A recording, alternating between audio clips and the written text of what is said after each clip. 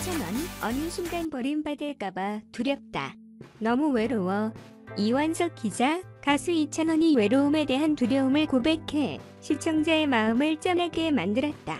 지난 17일 방송된 TV조선 뽕숭아학당에서는 마음 수련의 뒷이야기가 전파를 탔다.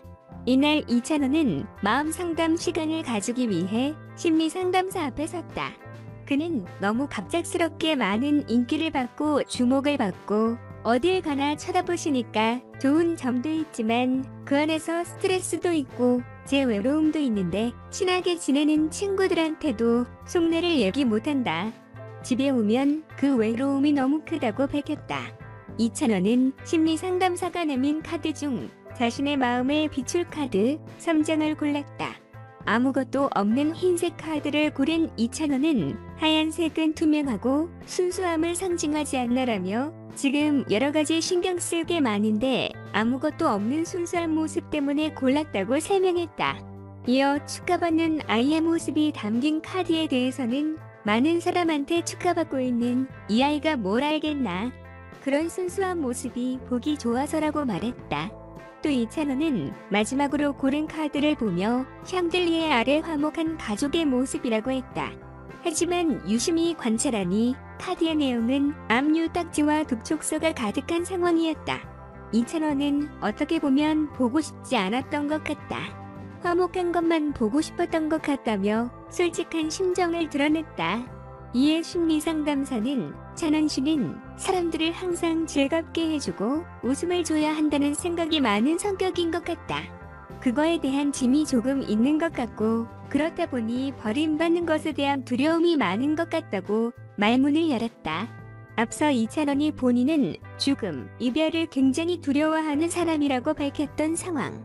심리 상담사의 발언에 이찬원은 저 지금 소름 돋으려고 한다며 놀란 기색을 감추지 못했다. 심리 상담사는 버림받을 두려움을 과하게 가지고 있어서 언제나 두려운 거다. 외로움이 계속 따라오는 거다. 즐겁게 지내다가도 막상 외로워지고라고 말했다. 이찬원은 가족들한테도 고민을 얘기 못한다. 이 얘기를 했을 때 엄마, 아빠가 걱정하시면 어떡하지? 싶다. 주위 사람들은 항상 나로 인해 기뻤으면 좋겠다고 답했다. 이어 내가 어느 순간 내쳐질지 모르니까 타인의 시선을 의식하고 좋은 관계를 유지하려고 이 사람이 나한테 조금 안 좋은 감정이 있더라도 그걸 드러내지 않는다. 관계가 무너지는 걸 정말 두려워한다. 그러면서 겉으로는 떠들고 너무 즐겁고 재미있게 웃으면서 놀다가도 집에 들어오면 그 외로움이 이루 말할 수 없다고 설명했다. 그러면서 이찬원은 울컥하는데 고개를 숙여 시청자의 마음을 안타깝게 만들었다. 한편 뽕순화학당은 미스터 트롯이 탄생시킨 임영웅, 영탁, 이찬원, 장민호가 초심으로 돌아가 대한민국 최고의 트로트 가수, 국민 가수로 거듭나기 위해 배움을 이어가는 본격 성장 예능이다. 이찬원, 정동원, 눈물샘 자극 추모음악회 미스터 트롯 이찬원과 정동원의 애절한 트롯이 사람들의 눈물샘을 자극했다. 19일 밤 11시 TV조선에서 방송하는 한국전쟁 70주년 추모음악회에 대한민국을 트롯 열풍으로 물들인 미스터 트롯 POP6가 출격한다. 이번 추모음악회는 POP6가 코로나19 발생 이후 처음으로 다같이 참여하는 공식적인 행사라는 점에서 눈길을 끈다.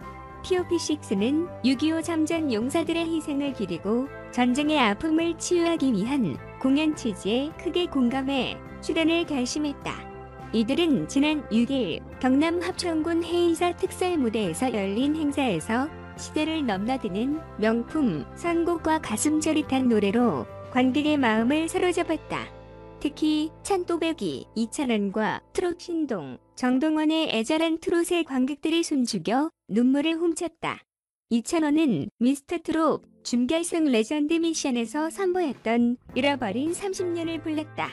TV조선 예능 프로그램 뽕숭아학당과 사랑의 콜센터에서 밝고 명랑한 모습을 보여준 이찬원이 구성진 목소리로 잃어버린 30년 목 놓아 부르자 감동한 관객들이 눈물 짓는 모습이 포착됐다. 장난꾸러기 남동생 같은 TOP6 막내 정동원은 14살 감성이라고 믿기지 않을 만큼 풍부한 감성으로 청춘을 불러 관객들의 가슴을 먹먹하게 만들었다. 이뿐만 아니라 듀엣으로 뭉친 임영웅과 영탁은 전쟁의 아픔이 고스란히 담긴 노래 가거라 38선을 열창했고 TOP6의 맏형 장민호는 시대의 아픔에 대한 은유를 머금은 봄날은 간다로 슬픔을 담담하게 전해 깊은 여운을 남겼다. TOP6의 넘치는 끼와 흥을 바탕으로 6인 6석의 다채로운 매력이 돋보인 열정적인 무대도 이어졌다. 미스터 트롯의 공식 춤꾼 김희재는 간드러진 목소리와 예사롭지 않은 춤사위로 꽃을 댄 남자를 시원한 목소리의 영탁은 막걸리 한 잔으로 답답했던 속을 뻥 뚫어주었다. 모두가 기다린 합동 무대에서 TOP6는 형형색색 옷을 맞춰 입고 깜찍한 율동과 함께 제비처럼을 선보여 뜨거운 공연 분위기를 한층 더했다는 후문이다. 임영웅의 세이찬원, 뽕숭아, 그룹화 전략이 낳은 소외자, 미스터 트롯, 그룹화 전략이 빛을 발하고 있는 모양새다. 따로가 아닌 함께를 택한 미스터 트롯, TOP7은 그룹으로 활약 중이다. 팬들이 그룹 형태로 누군가를 좋아할 경우 멤버 간 관계성 역시 인기의 한 요소로 작용하게 된다. 서로 다양한 chemistry를 내고 있는 미스터 트롯 7인 중에서도 새롭게 인기를 얻고 있는 조합이 있다. 바로 이찬원 임영웅이다. 이찬원은 그야말로 성덕의 교과서다. TV조선 미스터 트롯 방영 당시에도 이찬원은 임영웅을 라이벌 상대로 꼽는가 하면 그의 유튜브 구독자가 300명일 때부터 팬이었다고 밝혔다.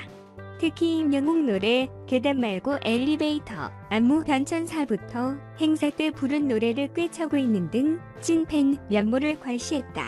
그의 팬심은 함께 활동을 시작한 지금도 현재 진행형이다. 6월 17일 방송된 TV조선 뽕숭아각당 6회에서는 트롯맨 F4가 캠프파이어를 하면서 서로에 대한 진심을 전했다. 이날 이찬원은 진심을 전할 상대로 원픽 임영웅을 선택했다.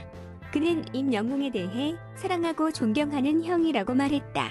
이어 무대에서는 정갈하고 신사 같지만 실제로 만나니까 소탈하고 후배를 잘 챙겨주는 모범과 귀감이 된다고 애정 어린 진심을 전했다. 그러면서 임영웅에게 처음 반하게 됐던 노래 박상철 항구의 남자를 선택 개사까지 하며 남다른 팬심을 드러냈다. 임영웅 역시 제가 누군가에게 존경받는 선배가 될 거라는 생각을 해본 적이 없다. 대학교에서 음악을 공부할 때 나의 노래를 공부하는 후배가 생겼으면 좋겠다라는 꿈을 꾼 적이 있는데 찬원이가 이뤄줬다며 고마움을 전했다. 동경했던 선배가 동료가 돼 함께 노래를 부르고 그 후배는 선배의 꿈을 이뤄준 사람이 된 모습은 훈훈함 그 자체였다. 특히 임영웅은 이찬원이 8개월 만에 대구에서 온 엄마와 만나자 당사자보다 많은 눈물을 보이며 형제를 드러냈다. 이찬원과 임영웅은 훈훈함은 물론 송대관과 태진아를 잇는 앙수, 케미스트리를 발산하며 콤비 면모를 자랑하고 있다. 이날 장윤정과 삼행시를 하던 중 이찬원은 임영웅 차례가 되자 갑자기 칠행시를 주문했다. 임영웅은 이찬원에게 입 다물어라라며 분노하면서도 칠행시를 센스 넘치게 도전. 이내 주랭랑을 치는 등 물오른 예능감을 뽐냈다. 두 사람은 앞서 방송된 JTBC 아는 형님에서도 티키타카 케미를 선보였다.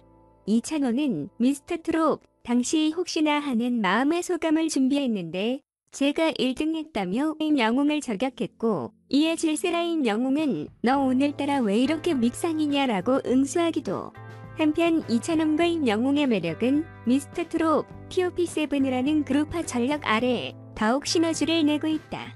혼자 있을 때 돋보이지 않았던 면들이 함께하면서 부각되고 있는 것. 이들은 뽕숭아각당, 사랑의 콜센터와 같은 예능 프로그램은 물론 드라마, 바람과 구름과 비로 연기 도전도 함께 나선다. 서로가 서로에게 힘이 되고 있는 이찬원과 임영웅이 함께서 내려갈 성장사가 기대된다.